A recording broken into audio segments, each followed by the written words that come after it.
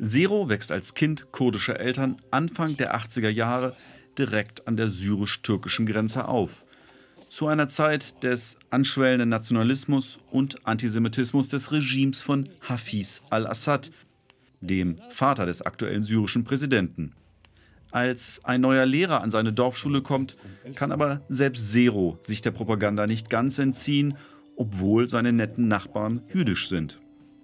Regisseur Manu Khalil erzählt mit Nachbarn seine eigene Kindheitsgeschichte und fängt über die gewählte Kindperspektive die Ungewissheit des Umbruchs und die Aussichtslosigkeit sehr stimmungsvoll ein.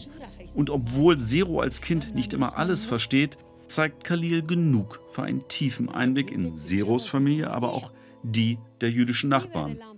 Khalil schafft es so, den großen Konflikt ins kleine, konkrete und zwischenmenschliche zu verlagern.